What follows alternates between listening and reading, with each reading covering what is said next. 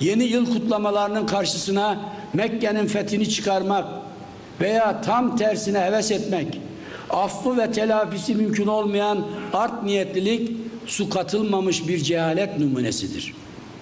Üzerimizde tahakküm kurmak isteyenlere, aramızı bozmak, fitne çıkarmayı arzulayanlara da asla müsaade etmeyiz, etmeyeceğiz.